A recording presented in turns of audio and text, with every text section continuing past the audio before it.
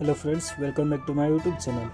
तो दोस्तों, आज के इस वीडियो में हम बताने वाले हैं, हमारे पास एक रेडमी का सिक्स प्रो मॉडल और इसमें देख सकते हैं बार बार दोस्तों ये ग्लांस लाइव वॉलपेपर जो है ऑटोमेटिक जो है चलते रहता है।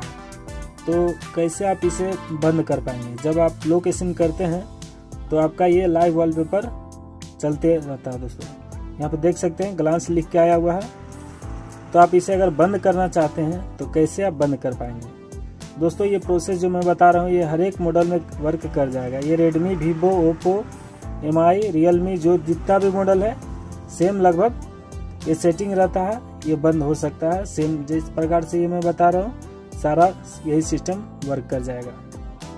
तो दोस्तों, सबसे पहले आपको अपने पासवर्ड अनलॉक करना होगा। जब आप स्क्रीन लॉक लगाते हैं तो आपको सबसे पहले स्क्रीन अनलॉक करने के बाद से आपको अपने मोबाइल का सेटिंग ओपन करना है।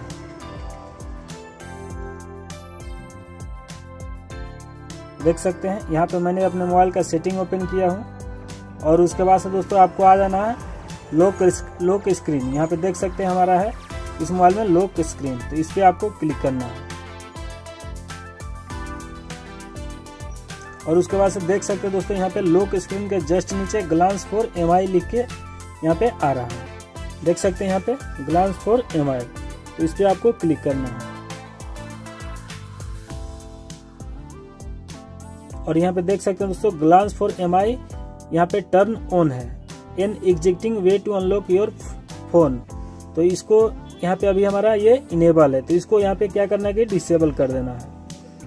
और जैसे ही डिसेबल पे क्लिक करते हैं, यहाँ पे देख सकते हैं लिख क्या रहा why are you turning off this feature users too much battery my kids use it too much या टू मेनी एड्स या I don't like the content uses too much mobile data या फिर I want to use my own photos या फिर other तो यहाँ पे आप कोई भी एक यहाँ पे I don't like the content तो यहाँ पे सिलेक्ट करके कुछ भी आप इसमें से कोई भी सिलेक्ट कर सकते हैं।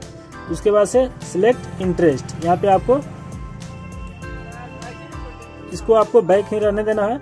और उसके बाद से दोस्तों यहाँ पे डायरेक्ट जो है कि आपको यहाँ पे डिसेबल कर देना है। देख सकते हैं ये डिसेबल हो चुका है। और उसके बाद से जैसे, फिर दोबारा आप अपने मोबाइल को लोक स्क्रीन करके यहाँ पे आप जब देखेंगे तो आपका ये ग्लांस दोस्तों ये वर्क नहीं करेगा।